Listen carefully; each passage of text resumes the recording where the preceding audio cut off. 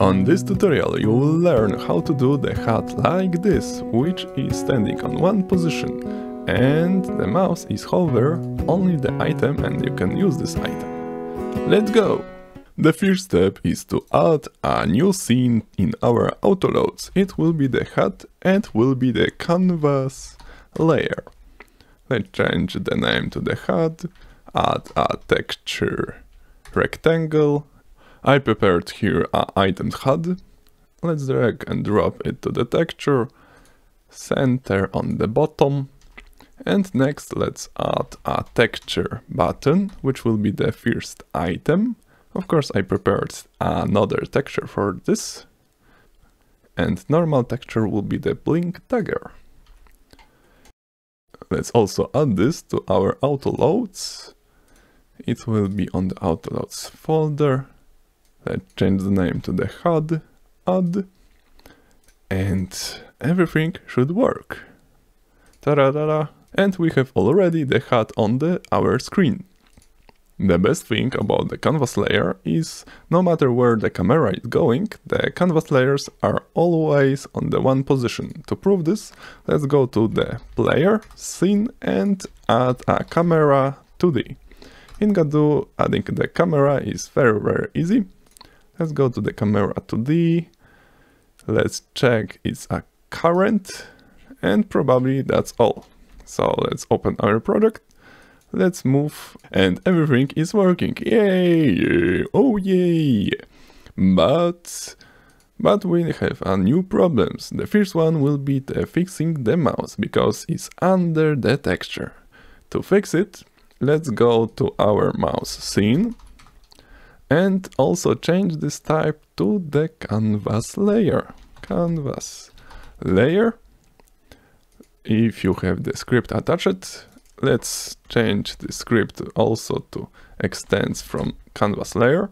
The first problem here will be the canvas layer don't have the global position. So now let's use our sprite get the position for the sprite as a get viewport, get mouse, mouse, mouse position.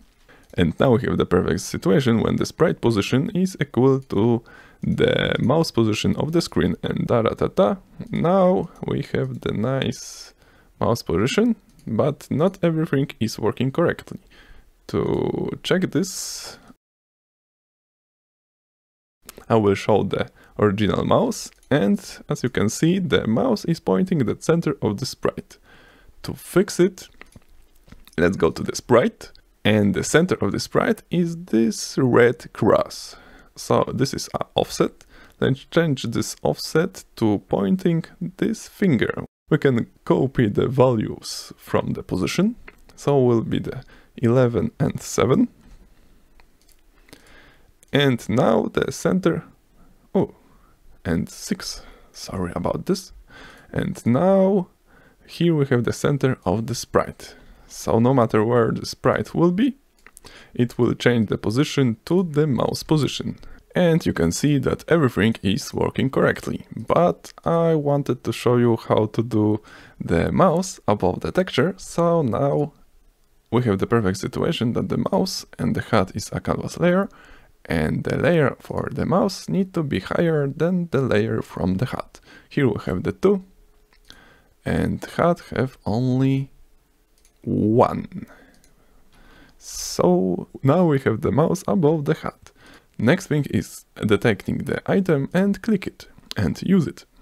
Go to the HUD scene, attach the script, will be the HUD and connect the signals. Maybe change the name of these textures to items and item. And here let's go to the pressed in the most easiest part because after the signal let's go print use this item. Let's test it. When I'm click it, the output is telling us use this item. Next thing, let's do the play safely to the mouse entered and mouse exited. So here let's do the mouse play safety. And here, let's do mouse reset.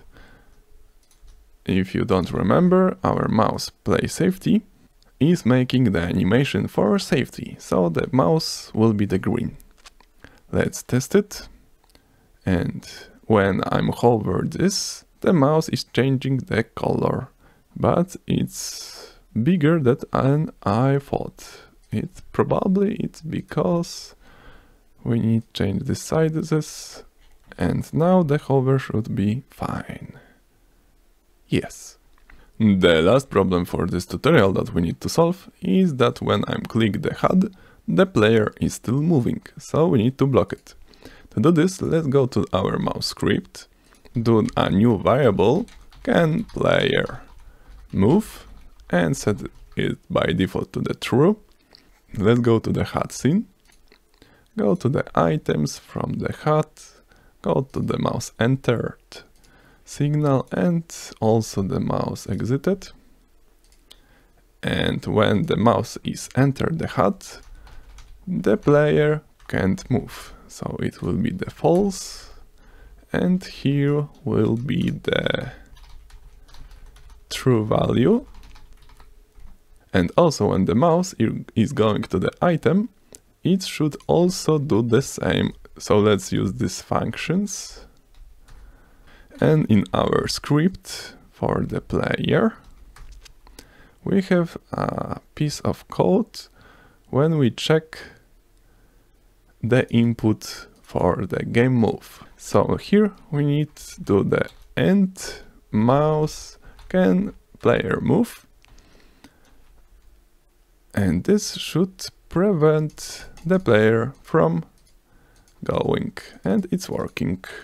Sorry, but there is a, one more thing that is not working correctly. That is the play, that is the move of the player. So when I'm clicking here or here, the player is not going where I clicked.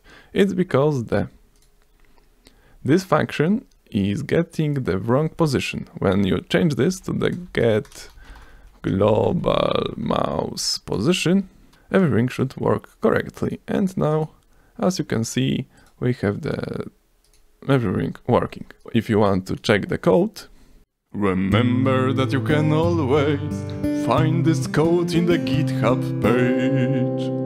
More in the description.